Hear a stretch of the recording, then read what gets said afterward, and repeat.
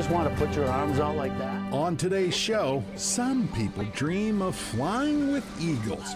This man made it happen. Wow. Take along as we go up and away here in Minnesota.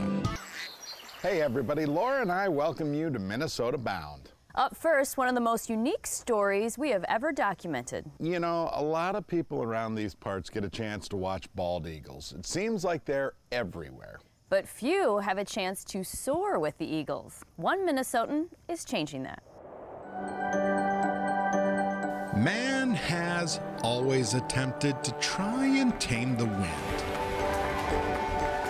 Suppose that's why Minnesota's fall compass points towards Pepin, a bluff country lake of massive Mississippi River proportions. A spot where wind steers people to water. It's um, pretty special here. Amanda Peterson loves lake life. It's a magical place. It gives me this feeling of peacefulness, you know, that's hard to recreate or capture anywhere else. She always felt grounded here This is what home is. until right now. Are you nervous? I am excited. I'm going to channel that energy into excitement. Excitement to sail with this guy. Man, you've been watching us for the last three, four years, and you decided to come fly with us. Let's do this. Let's do this. Let's get you in the harness. Okay. I want David Dibson loves to ride Lake Pepin's breeze, You're going to be able to feel wind between your toes. although his sailboat looks different. Look up in the sky, you see a big white puffy cloud way up there. We're going that high. Oh my gosh, an imminent feeling. I'm going to be flying here real soon. Lake City, number one, is the birthplace of water skiing. And now the birthplace of eagle hang gliding. So there we go. So it's a little bit windier on the way up. David figured ingenuity could help him sort of kill You just want to put your arms out like that eh, two birds with one stone. And go ahead and flap. I started experimenting about 15 years ago with towing off of the back of the boat. Okay. You don't have to hold on tight. Okay, okay. oh my god. Oh my god.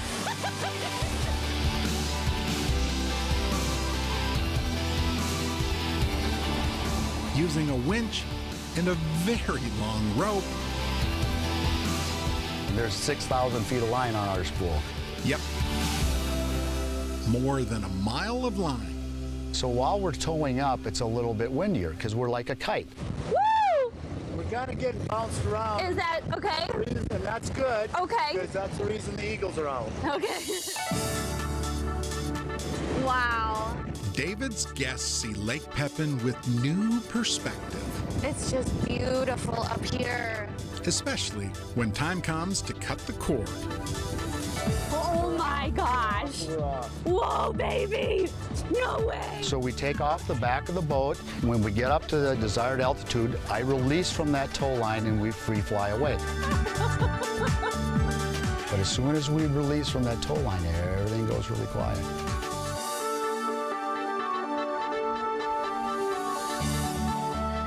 The topography is an amazing thing to see from the air. You could see everything, like the fields, the river, the it was the bluffs. David steers his hang glider to the bluffs Oh my goodness. To catch thermal air rising. When the wind blows across the lake and hits one of these bluffs, it turns that air and shoots it vertical. It's called orographic lift. The stuff hang gliding pilots dream of. If we want to know what the conditions are like, we just look up to the sky and see if there's any eagles.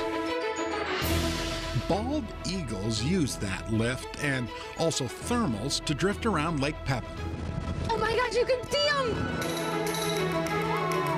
the spot Amanda realizes Look at that. they do not fly alone.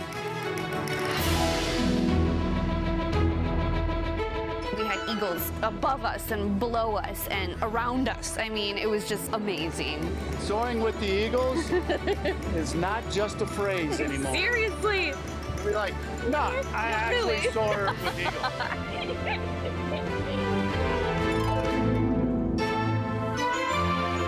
the slow descent back down to the lake and the boat. An adventure of its own.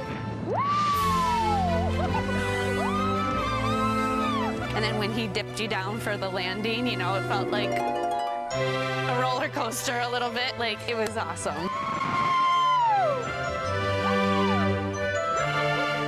Oh my gosh. David's Bluff Country Bird Tour. Yeah, I think you did pretty good. That's amazing. A ride that certainly won't break the bank, Totally recommend it. but might just take your breath away. It was, I'm speechless. It was so great.